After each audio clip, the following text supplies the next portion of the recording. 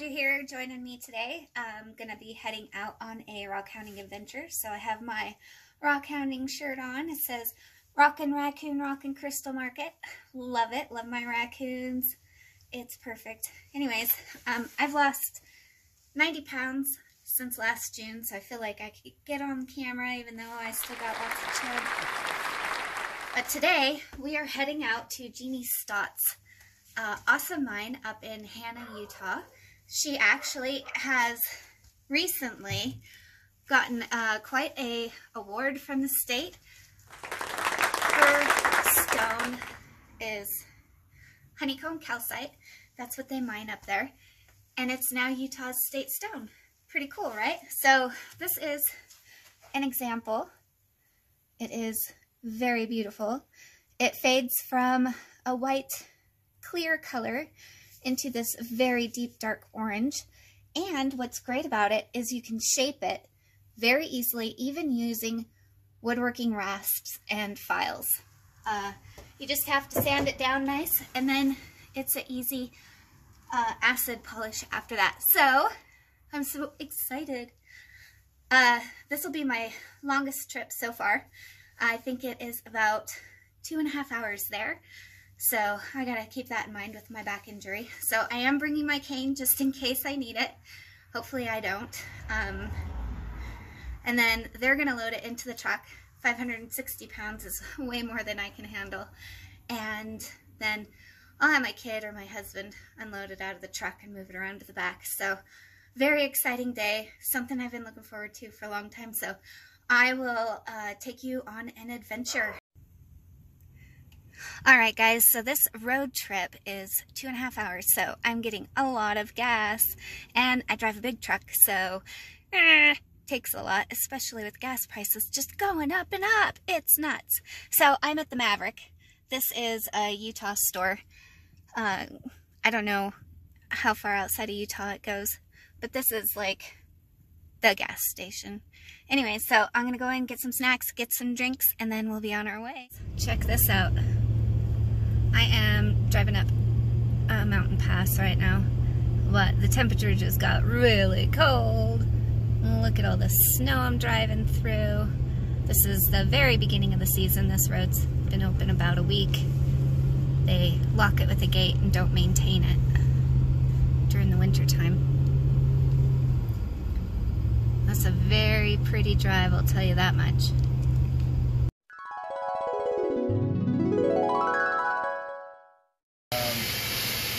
At Shamrock Mining.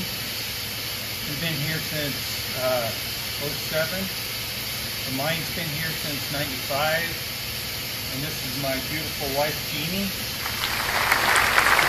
And we're here to show you how we do some production and let's go take a look.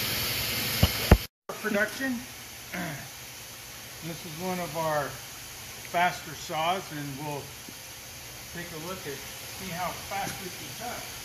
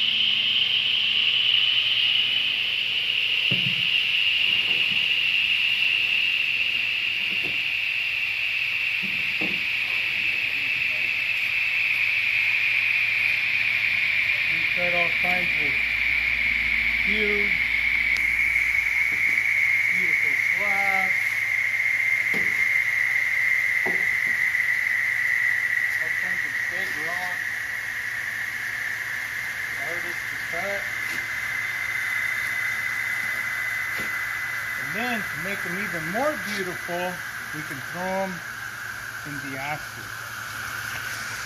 Time to go for an acid trip.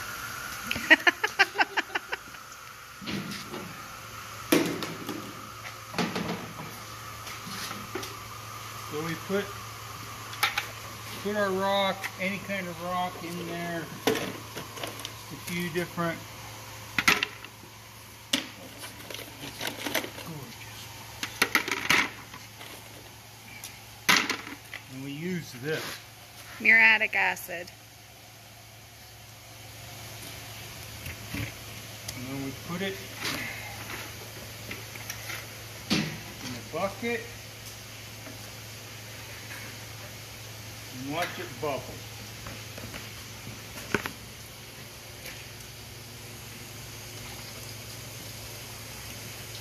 And of course, you got to wear your fancy protection be safe.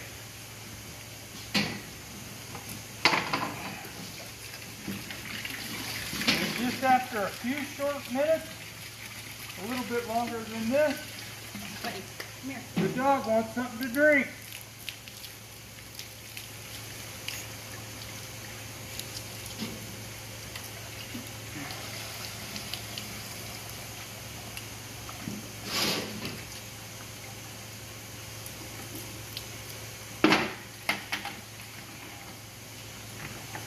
It comes out nice and pretty.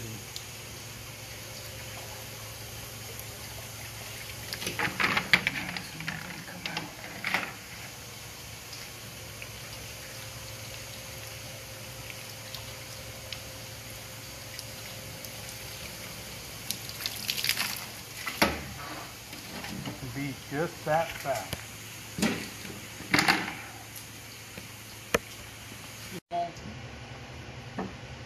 and start carving into the white face of the stone.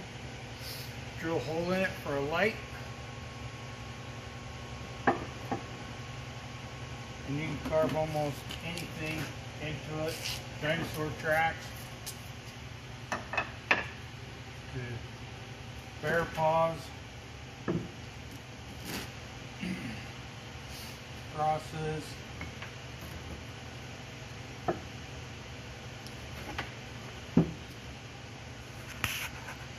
What's the Mohs hardness? It's a 3.5? So yeah, between a three and a two probably. The white being like a two. So the white is really easy to grind off. But the the really solid um, amber color is probably a three.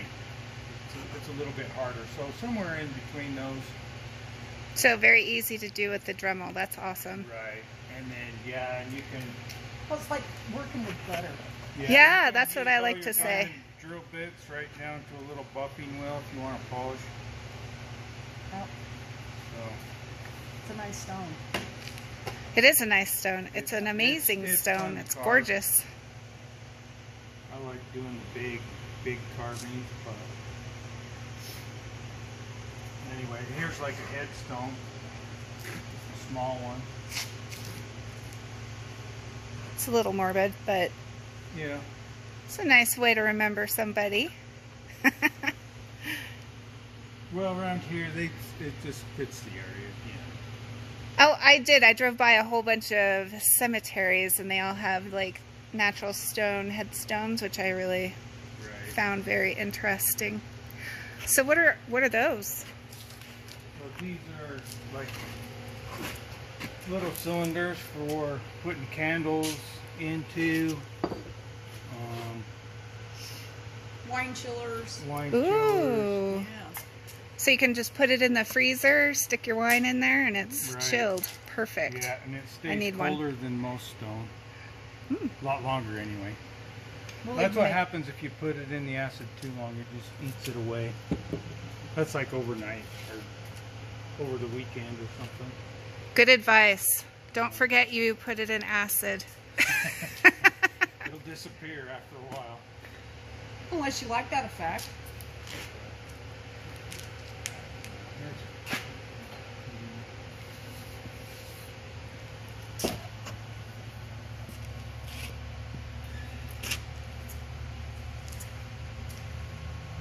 Oh, that's so pretty.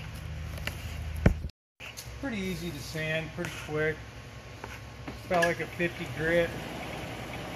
It's uh, it's 100% basically calcium carbonate, silica.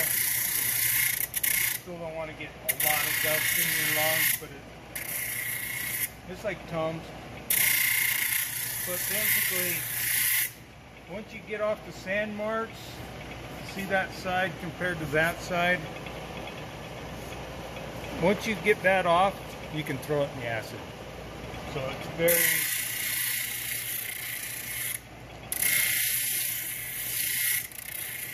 so you round your corners where you want them. I'm ready to throw that in the acid that fast. Wow, that was fast. Awesome. Yeah. And once you throw it in the acid, you're done. There you go. Yeah. Sometimes we have really big rock, and when we do, it's a lot of money. you slab those, that's our last piece of a great big rock, so it's about $6,000. Yeah, it's worth a lot of money. Wow. That's huge. Yeah. It's just It's so hard gorgeous. to stabilize that big of a piece without it falling apart when it's calcite. So Yeah, This, these are pictures of up at the quarry, the different saws and stuff that we use to cut it. Um, this is a wire saw up here. This is where we drill down a six inch hole and then we drill over three and drill over three. Hook a wire with diamonds on it through that hole and then wrap it around this wheel and just pull it through the mountain. Here's a big chainsaw that big chainsaw is used for cutting big blocks like this one here. If we could just keep cutting big blocks, would Wow, that's a. great. Who is that standing next to that stone? Just. One of those that's- secretaries. Oh, nice. That's really shows the size of that. Yeah. Holy cow. And then here's this off that big slab that was in the shop. That's a sign we made for Ballard City, just outside of Roosevelt. Okay.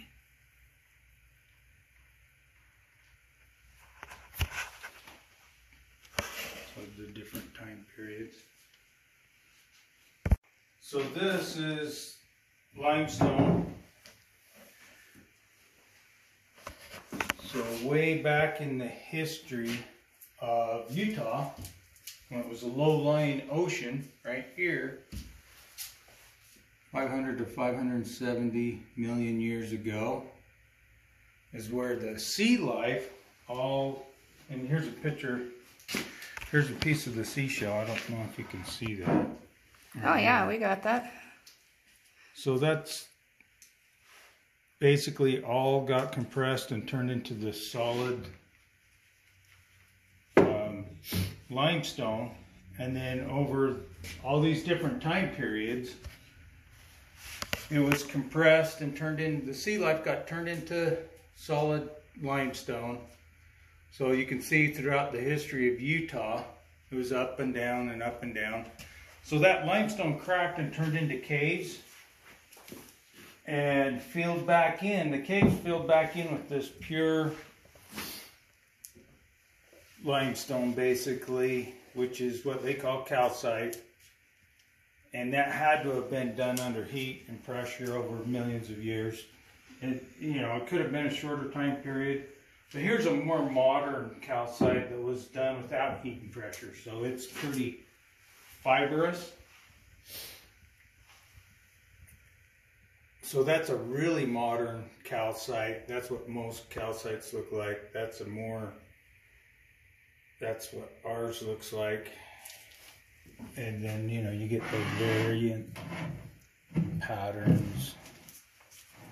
And the white white that's on it is more like um, a hard water deposit on your sink. So it's filled in the cracks with just more of a hard water, and that's why it's so difficult to get great big blocks because it's cracked and over, you know, gone from below sea level to above sea level. So that's the that's where the stone started. Back when it was just sea life, coral reefs, and seashells. And that one was there.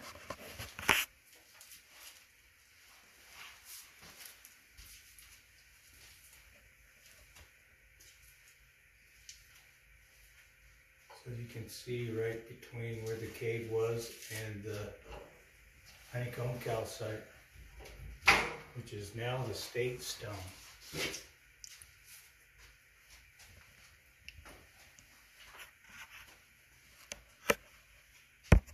Office, showroom office. Okay, guys, so we are in Jeannie's showroom office, and she's going to show us a little bit about what we got here.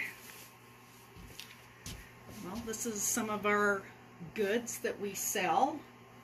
We try to do most of them in the winter when it's downtime. But now that it's the Utah State Stone, we kind of got wiped out, which is all good.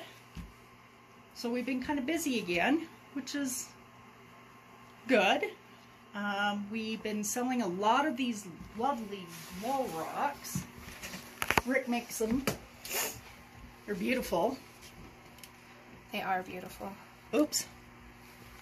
Need to tighten the light bulb. These are meditation stones. I like to call them that instead of worry stones. We've had enough worrying lately. They've got a little groove in them. Carry them with you. We've been making our Utahs. We're trying to perfect them. And I think we're going to carve in them the new Utah State Stone. And I think we're gonna make them a little bit smaller than this and fatter. But people seem to like those now. I like them. And these are a, a really neat hot item. This is how we start making our spheres. They seem to turn out a little bit better when we're doing these. So gemmy. Yes.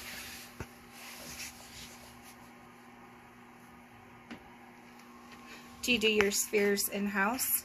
We did, but we haven't had time, so I've got one of my friends that we gave our sphere machine to, and he's been making them for us.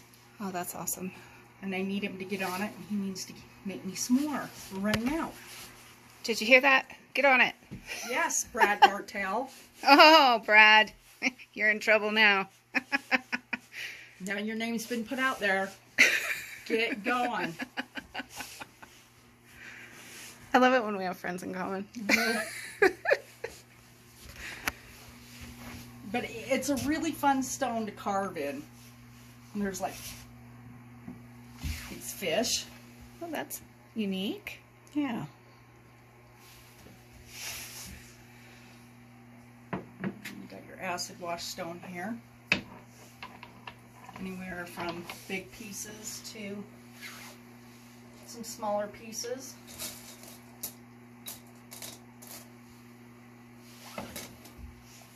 To your fetishes, you can buy these. Little bears. And your buffaloes.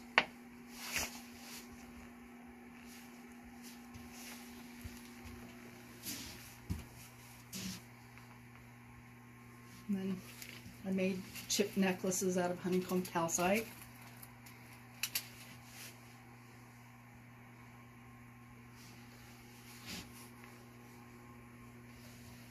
And here's a bunch of, um, I call them gold nugget necklaces.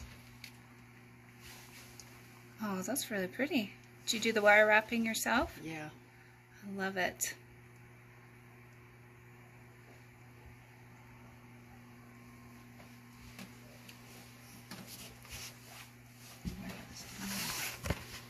Excuse me. The windows are not on. It's the lights burned out.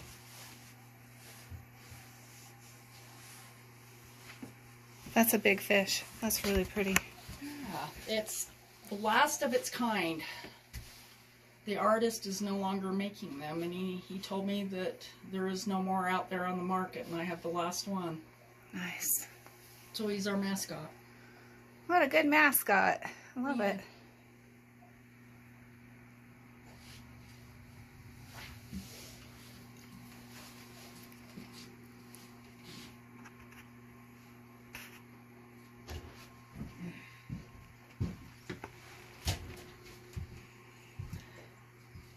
And I make all the cabochons with my Easy Cab from Vince. That's awesome. And it polishes up beautifully. It really does. It takes really nice high polish. Yep. And that Easy Cab makes it so easy to do it.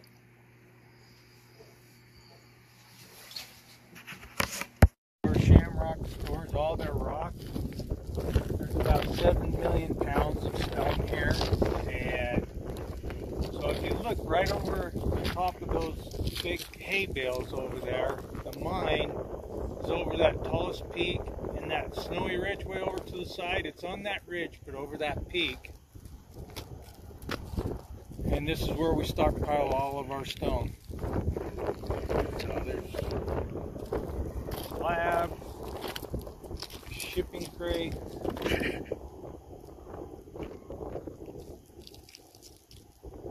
And don't forget the pit down Beautiful. below. Yeah, we'll show the pit down below if we can. Yeah, let's walk over and this is our stockpile of rock.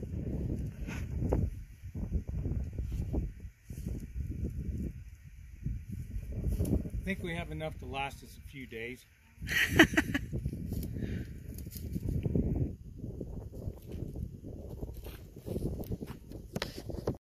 so thanks for coming out to Shamrock Mining and this short little tour.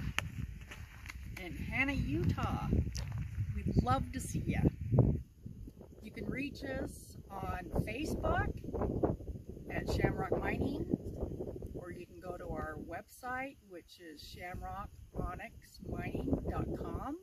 We'd love to see you.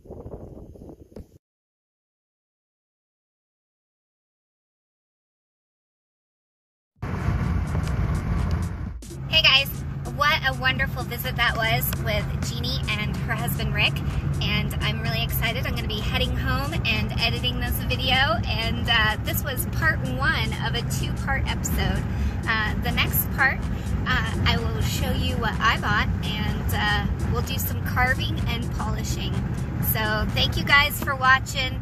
Have an awesome day and keep on rocking. Don't forget to hit that subscribe button and join my subscriber only group that I have on Facebook called Dremel Lapidary by Kersten Safford Art. We kind of talk a little bit about DIY and, and how to carve things with the Dremel, which this honeycomb calcite Utah State stone is one of the best stones for working with the Dremel just because it is so easy to get a nice high polish with. All right, I'm gonna drive heading into the mountains and I got a lot of weight in the truck, so I will see you on the next round. Stay tuned for episode two.